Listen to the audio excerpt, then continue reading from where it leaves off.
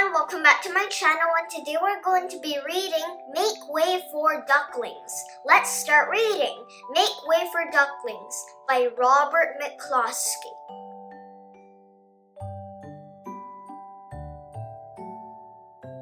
Make Way for Ducklings Make Way for Ducklings by Robert McCloskey Make way for ducklings. Mr. and Mrs. Mallard were looking for a place to live, but every time Mr. Mallard saw what looked like a nice place, Mrs. Mallard said it was no good. There's sure to be foxes in the woods or turtles in the water, and she was not going to raise a family where there might be foxes or turtles. So they flew on and on. When they got to Boston, they felt too tired to fly any further. There was a nice pond in the public garden with a little island on it. The very place to spend the night, quacked Mr. Mallard. So down they flapped. Next morning, they fished for their breakfast in the mud at the bottom of the pond, but they didn't find much. They were getting ready to start on their way, a strange, enormous bird came by. It was pushing a boat full of people, and there was a man sitting on its back. Good morning, quacked Mr. Mallard, being polite. The big bird was too proud to answer, but the people on the boat threw peanuts into the water. So the Mallards followed them all around the pond and got another breakfast, better than the first. I like this place, said Mrs. Mallard as they climbed out on the bank and waddled along. Why don't we build a nest and raise our ducklings right in this pond? There are no foxes and no turtles, and the people feed us peanuts. What could be better? Good, said Mr. Mallard, delighted that at last Mrs. Mallard had found a place that suited her. But Look out! squawked Mrs. Mallard, all of a dither. You'll get to run over. And when she got her breath, she added, This is no place for babies. With all those horrid things rushing about, we'll have to look somewhere else. So they flew over Beacon Hill and round the State House, but there was no place there. They looked in Louisburg Square, but there was no water to swim in. They flew over the Charles River. This is better, quacked Mr. Mallard. That island looks like a nice, quiet place, and it's only a little way from the public garden. Yes, said Mrs. Mallard, remembering the peanuts. That looks like just the right place to hatch ducklings. So they chose a cozy spot among the bushes near the water and settled down to build their nest. And only just in time, for now they were beginning to molt. All their old wing feathers started to drop out, and they would not be able to fly again until the new ones grew in.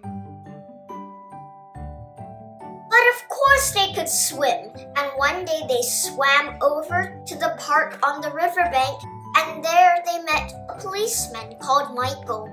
Michael fed them peanuts, and after that, the Mallards called on Michael every day.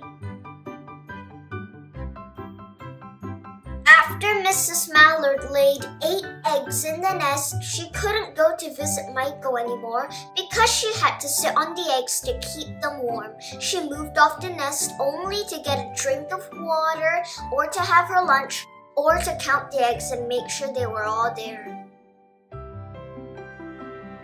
One day the ducklings hatched out. First came Jack, then Kack, and then Lack, then Mack and Nack and Ouack and Pack and Quack. Mr. and Mrs. Mallard were bursting with pride. It was a great responsibility taking care of so many ducklings, and it kept them very busy. One day, Mr. Mallard decided he'd like to take a trip to see what the rest of the river was like further on. So he said, I'll meet you in a week in the public garden. He quacked over his shoulder. Take good care of the ducklings. Don't you worry, said Mrs. Mallard. I know all about bringing up children. And she did. She taught them how to swim and dive. She taught them how to walk in a line, to come when they were called, and to keep a safe distance from bikes and scooters and other things with wheels. When at last she felt perfectly satisfied with them, she said one morning, Come along, children, follow me. Before you could wink an eyelash, Jack, Kack, fell into line just as they had been taught. Mrs. Mallard led the way into the water and they swam behind her to the opposite bank. There they waded ashore and waddled along till they came to the highway. Mrs. Mallard stepped out to cross the road. Honk, honk! went the horns on the speeding cars. Quack!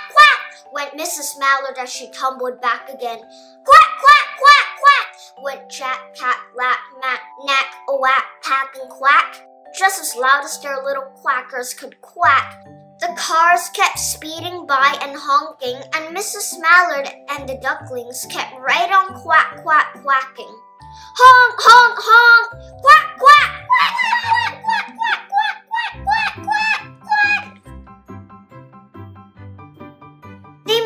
such a noise that Michael came running, waving his arms and blowing his whistle. Quack, quack, quack! Honk! He planted himself in the center of the road, raised one hand to stop the traffic, and then beckoned with the other, the way policemen do for Mrs. Mallard to cross over. As soon as Mrs. Mallard and the ducklings were safe on the other side and on their way down Mount Vernon Street, Michael rushed back to his police booth. He called Clancy at headquarters and said, There's a family of ducks walking down the street. Clancy said, Family of what? Ducks! yelled Michael. Send a police car! Quick! Meanwhile, Mrs. Mallard had reached the corner bookshop and turned into Charles Street, with Jack, Kack, Lack, Mack, Nack, Ouack, Pack, and Quack all marching in line behind her. Everyone stared. An old lady from Beacon Hill said, Isn't it amazing? And the man who swept the street said, Well, now ain't that nice? And when Mrs. Mallard heard them, she was so proud she tipped her nose in the air and walked along with an extra swing in her waddle. When they came to the corner of Beacon Street, there was the police car with four policemen that Clancy had sent from headquarters. The policemen held back the traffic so Mrs. Mallard and the ducklings could march across the street right on into the public garden. Inside the gate, they all turned round to say thank you to the policeman. The policeman smiled and waved goodbye. When they reached the pond and swam across to the little island, there was Mr. Mallard waiting for them, just as he had promised. The ducklings liked the new island so much that they decided to live there. All day long they follow the swan boats and eat peanuts. And when night falls, they swim to their little island and go to sleep. The end.